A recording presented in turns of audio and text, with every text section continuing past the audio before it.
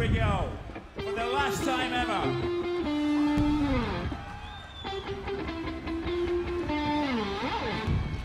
Thank you.